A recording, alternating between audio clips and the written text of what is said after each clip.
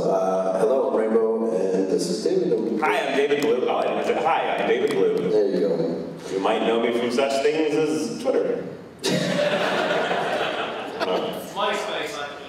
My oh, Do you want to know that someone... Friendster. Hold on. I, uh, two days ago, I actually got a notification in my email that someone tried to friend me on MySpace. It is still around. They rebranded it for music now, apparently. Well, Justin Timberlake bought Yeah. it for like $50 million. Is absolutely wasted money. You know how sometimes. But I was like- extra 50 million. What do I want to buy? Who tried to friend me from 2003? No. Well, that's. Who's still inviting me to LinkedIn? That's my question. You guys. Why are you email? on LinkedIn? I'm not. I have no well, LinkedIn ever. And every other day, someone's like, they invited you to LinkedIn. I'm like, ah, well, I will be that person forever then. LinkedIn for an actor? It's true. for all those job interviews I go on. Oh my god. Uh, hi, everybody. Did you want to go? You want me to? Yeah, I have to go to the bathroom. He's gonna go to the bathroom, and I don't know. Wait, hold on, real fast, real, real fast. Uh, who here watched SG1? Raise your hand. Everybody, so top. Who here watched Atlantis? Raise your hand. Yeah. Who here watched Universe? Raise your hand. Oh, God bless you. Um, I don't believe all yet. He had Um, good. So then, hopefully, this is sort of fun. Um, I'm gonna bring in a How many of special guest. International? I'm bringing in a special guest while uh, he goes to the pig. Is that cool? Actually, a few special guests if she answers. I'm gonna wait for her to answer. Unavailable. I'm gonna try this again, you drunk Story, bastard. story of his life. Okay, well you go pee, and I'm gonna. No, no, no, I'm gonna wait. I'm gonna, I'm gonna, I'm gonna. Um, that's really weird. I'm gonna text her. What the hell are you doing? This is fun. Right? Is this exciting for you guys? It gets better. Uh, so, should we just start with questions? I find that it's it's better to sit to interact. with Why don't we start with one question and then what we'll do is talk for like a year and not answer it. That's called a convention. Exactly. Exactly. No one has any. Come on. Yeah. I, I that's my other favorite part about it. Who has been the fight between your two characters and how they were? Between our characters? Well, me. He's dead. How dare you? I'm not dead. Am Uh, sorry. Um, I I? still am, aren't I? I still picture like I I'm. win in a fight? Well, I'm not militarily trained. I'm not an athlete. Well, not like a math fight. That's the only. That's the only chance you got. You come over here and you give me the derivative equation. That's what I mean. Uh, that was the dirtiest thing I've said this trip. So draw then. Uh, yes, a draw because corpse and civilian. I still think I might win. I feel like you trip and fall and stab yourself with my femur. Funny story. So I've, I've always, I, I like stunt stuff, but they of course never involved me in any stunt stuff. And I injured myself on set during someone else's stunt.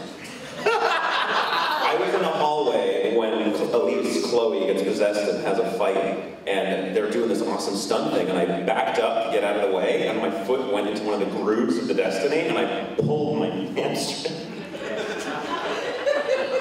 The Destiny was a dangerous place because it was a very immersive space. I hate you so much. Oh my god, I'm just picturing you like hurting yourself in the. Yeah, and that's a badass thing happened there, and I'm like, oh, oh.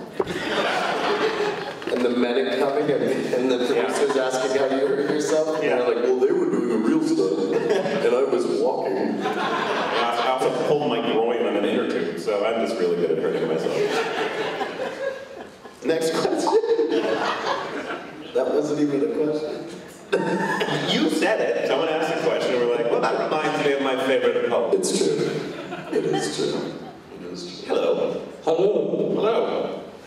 I've got a question. I think everybody wants to know the answer. Did you live or die at the end?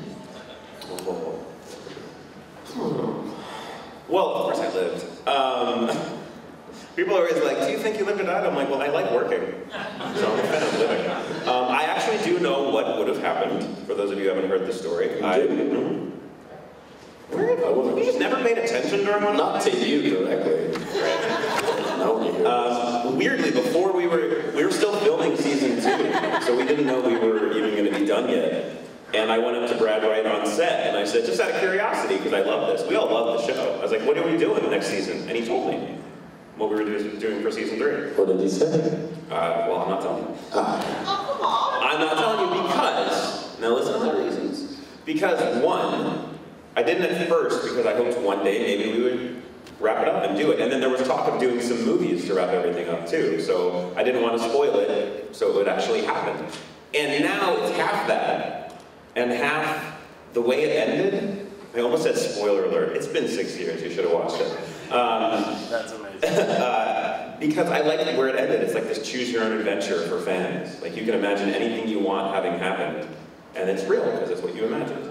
But you better freaking believe I survived. Come on. Rush might not have. Oops, I tripped over the cord. But yeah, yeah, I survived. Watch though. so that was. Watch, Brad was lying to me, and then Casey Humphrey starts, and that was just them killing me off. I'm gonna try calling her one more time. So he can ping. Sorry, one more, one more try. You better, man. What? Why is it happening? She's just canceling it. What is going on?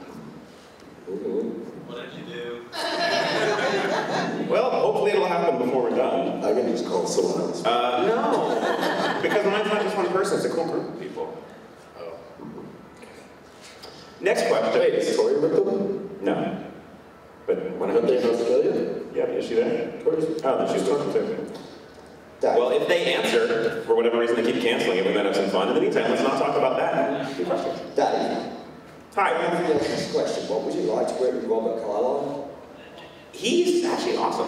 Uh, he's really nice, quiet and shy and cool, and um, we hit it off pretty much right away, both with our love of liquor and and uh, no, he's just really cool. Um, completely unlike Rush, and and actually some of my favorite scenes at first with him were were just the two of us. Like I still remember doing a scene, air, air, air, darkness, light, water, in water.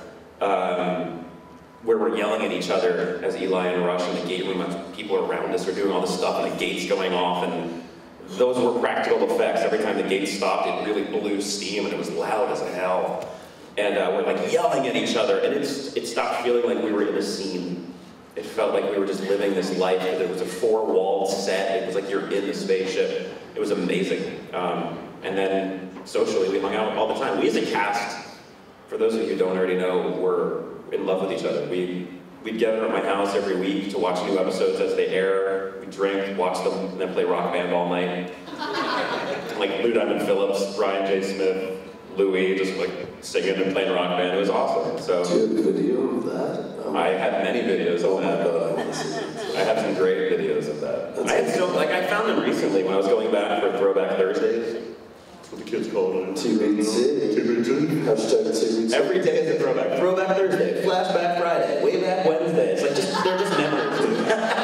um, but uh, I went back to try to find some pictures, and I forgot. I take a lot of pictures and videos, but as Eli, I always had a camera on me, so I have thousands of pictures and, and hundreds of hours of video from set that no one's ever seen. So I've slowly been posting short ones on Thursday, but like um, I have a good number. Did you take a lot? Do you have a lot of stuff from set? Um, no, I wasn't.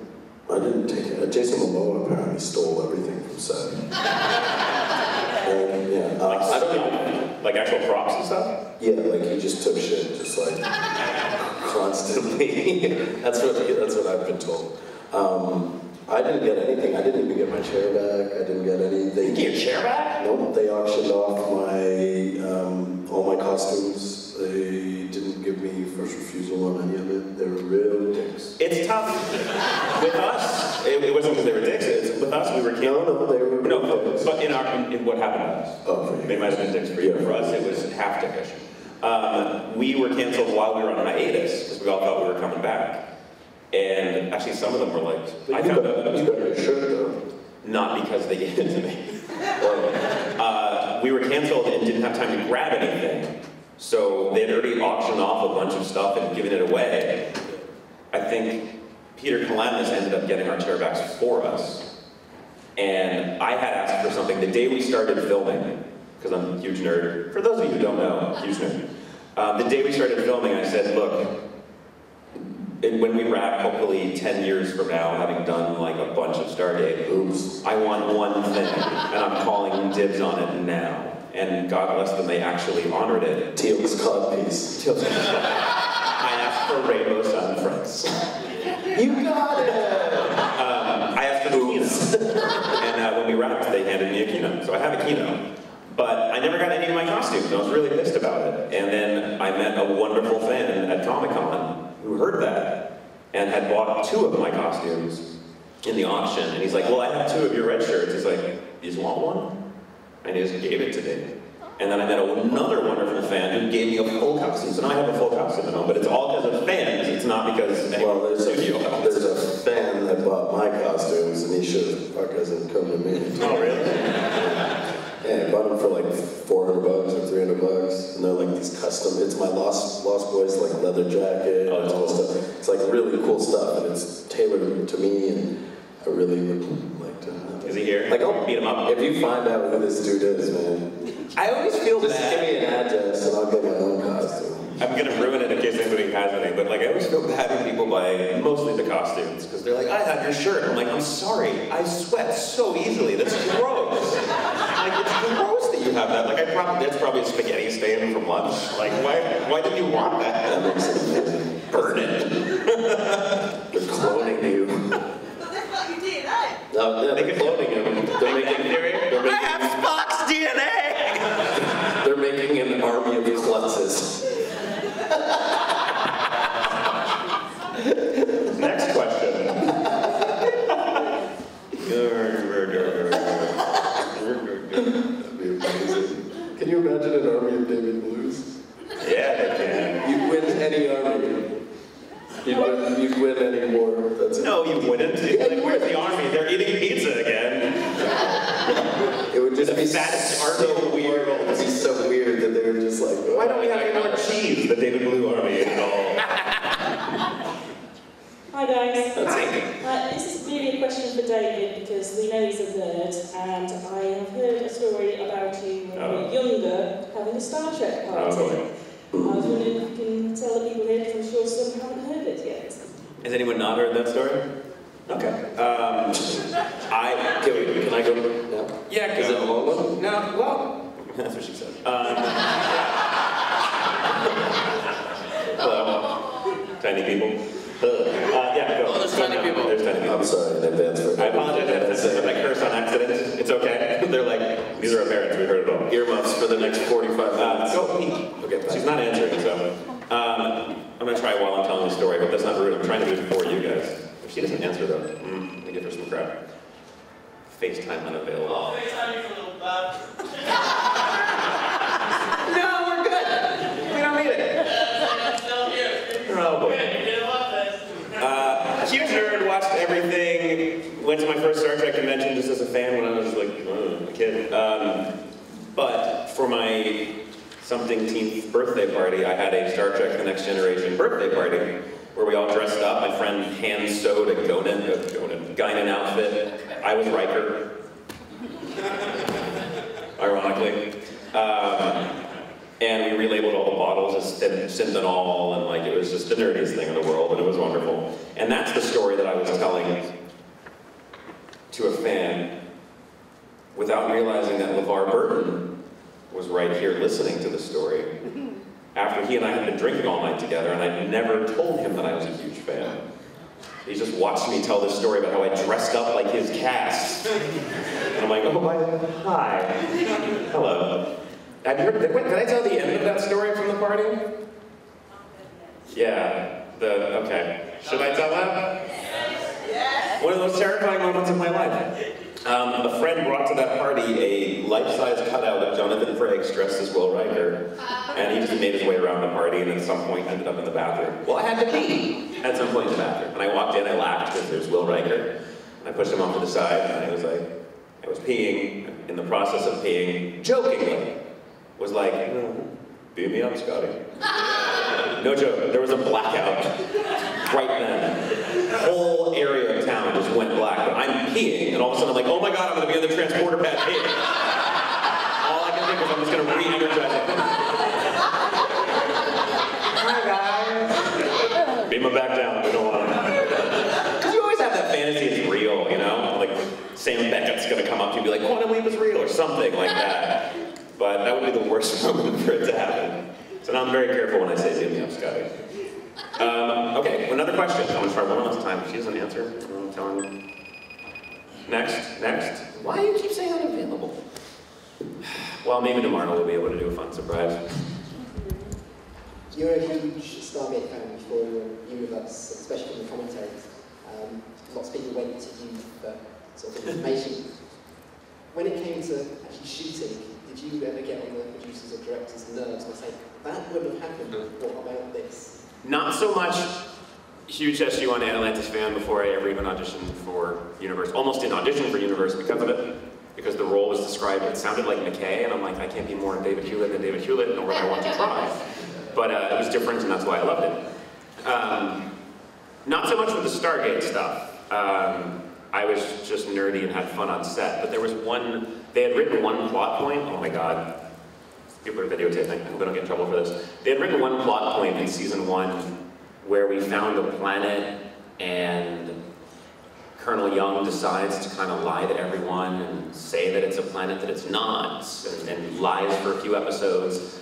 And I don't know, I had balls or something. I walked up to executive producer, creator Brad Wright, and was like, hey, do you watch Battlestar? And he said, no. I'm like, well, I do. And it's a little bit like when they lie about a planet that they find, and, and they changed it. Like, it's amazing that he changed it, and amazing that he didn't just fire me. I'm like, hey, uh, good script you wrote here, but uh, a few notes. Um, but he was really cool about it. Other than that, it was just usually, you know, Brian or Elyse calling me in the middle of the night after new scripts came out, going, what the hell is a stone? What's a communication stone again? Or what is the, the DHD? It was usually just explaining things to people on set. That's, yeah, that's how sad it is. But not as bad as some of my friends. My, the day that I was cast, my friend Brian called me. He's like, dude, what color is your chevron? Next question. I feel bad about the phone call thing. Oh, come on. Don't make me just start telling random stories. They're going to be interesting. If you had to sell Stargate Universe to somebody who's only watched Stargate and Stargate Atlantis, how would you sell it? Oh, it's easy, because you haven't. Have you not watched it? Okay. It's easy for me to sell it because, as a fan of all of them, I loved all of them. I would have watched the hell out of Universe even if I wasn't on it. Um, they're all very different, uh, not including Universe. SG-1 was more my jam than, than Atlantis, but I did watch it. The way that Brad and Rob sold it, the reason they did it. For those of you who know, first of all, for those, I have to say it, no one asked, but I have to say it. Atlantis was not canceled because of Universe. Two completely separate things, just so you know. But they wanted to try something different, and I respect them for it. They created this world that we all love. They created the, I mean, not the movie, but they created like the SG-1 Atlantis world. And they wanted to create characters who didn't always necessarily win. They loved it, and they were having fun with it, but they, the way you put it, they were becoming superheroes. It's like they always, by the end of the episode, were gonna figure it out. And they wanted to raise the stakes a little bit. And they wanted to kind of get rid of, um, you know, humanoid aliens, and they wanted to have more unique things and kind of let their imaginations run. And the best way to do that was to try something new. I loved the style of it, the fly-on-the-wall shooting of it. Um, but it's a darker, more real Stargate. Uh, because people can die. There's risks, there's, there's reward. And I even like the slow burn of it. You know, you get to know the characters more first, and then you're more invested in them when things happen. Um, so I loved it. And you would have loved season three too. And you would have loved the movie. That I will say, they were going to do two movies. Uh, but then he decided not to. But the first movie was going to be SG-1 Atlantis and Universe all in the same movie. And it would have wrapped up SG-1 and Atlantis. And then the second movie would have wrapped up Universe. Man, it would have been really cool. Dude, as a fan, when I, I'm pretty sure I willed a scene between McKay and Eli. Because I heard David Hewlett was going to be on the show, and on a panel in front of 7,000 people at Comic Con, someone went, What do you think about David Hewlett coming on the show? And I went, I'm really looking forward to being in a scene with him. I think it's the only reason they wrote one. I guilted them into it. I have a question for Rainbow. Yes, please. Did How was your pee? no, did you Uh, wash your it's so good. Did you wash your hands? you said you'd just been for a pee. Every time. That's all right then. Yeah, before, before and after, I love myself.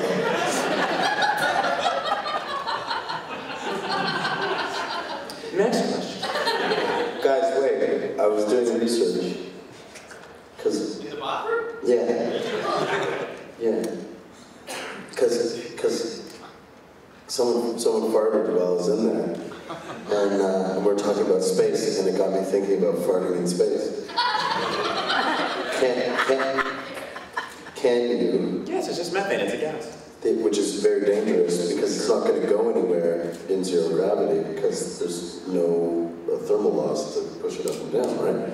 So that means it'll just stay where it is and just be like a stinky ball of floating fart forever. This is what I was thinking about. But then I was also thinking, when you expel the gas in zero gravity, could, could you theoretically propel yourself forward and have fart races? If WALL-E and Eva could do it with a fire extinguisher, then I'm sure you could with a fire. Uh, I don't fart like a fire extinguisher, do you? If you do, you'd if you win guys most give of the raisins for breakfast every day, I will. You would win most of the races. Anyway, guys, that's just a side. Real technical science questions. About. Breakfast, I played a Marine, Wait. obviously. You can see that I played a Marine. That I scientist. Breathing while you're farting. Huh? How are you breathing while you're farting? Oh, I'm not breathing, I'm going like this. Do you breathe through it? I don't. I'm a clencher. This took a turn. I caused that turn. When no, no one shows up tomorrow, this is why. And when our attendance doubles. That's true. Some real great fart stuff. You're gonna scare one person off. Look at that. No, I'm just kidding. I'm kidding. I'm kidding. It's all fart. You're totally good. You're totally good. He's propelling himself with farts right now. He's not He's carpet bombing on his way up. He's like, I have Yes. zero G room. Sorry, um, like you said, uh, Universe was a departure from the other two series, and uh, Joel Goldsmith did uh, some really good scoring for it. God bless him. Um, you know, and he was just about to release the score for it. Uh, generally, you know, on the soundtrack CD just before I went. Um, you know, what was your thoughts on the on the soundtrack to that? And uh, Alex also did some really good stuff for that, and also. The, the soundtracks in general? Well, Universe generally, but. Uh, Well, I mean, I loved it at the same. I mean, it's kind of how things have become nowadays. There's less of an opening title sequence. I wish we had because my ringtones for all of my castmates and Rainbow, for that matter, is the SG1 theme. That's amazing. But it couldn't quite My have an ringtone. SGU theme. It would just be. I kind of wish we had a theme song for that. But I, Do that again. it's a lot like a law song. Well, that was lost. From not quite from West Philadelphia, but it's a little different now. From now on, your ringtone is gonna be "Whoa." on my phone, Like- and I'll never answer. My mind went dirty when I was saying it. Um, but uh, I loved it. I loved, I mean, everything about it. I thought it was beautiful. The special effects were great. The music was great. It was great having everyone like involved from the original. I mean, especially even no. Excuse me. Is Alf here? That sounded so real. It is. You brought a kitten.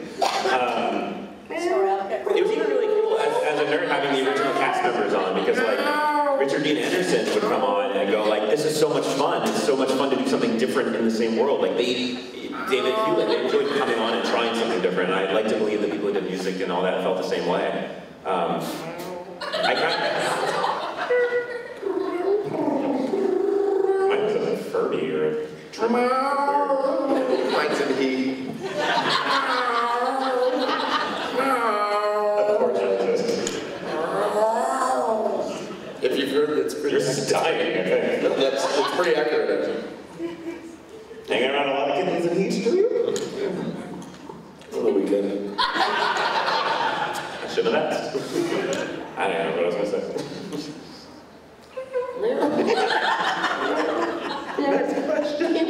What is happening? We're sober. I'm sober.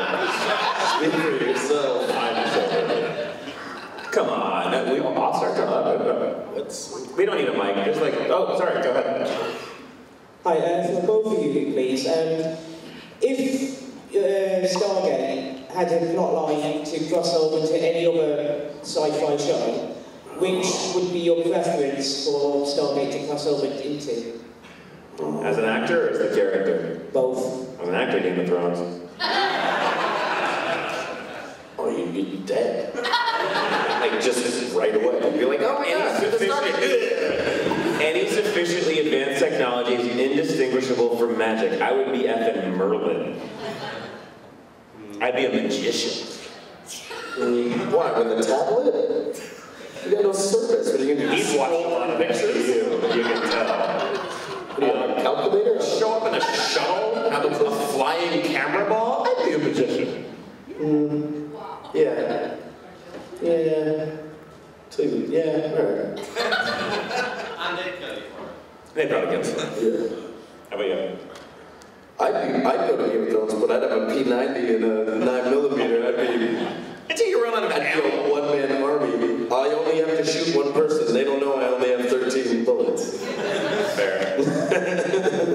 Fair. Can you imagine? But if not as The guy, guy, the king rolls up, I'm just like, BAM! I'm king.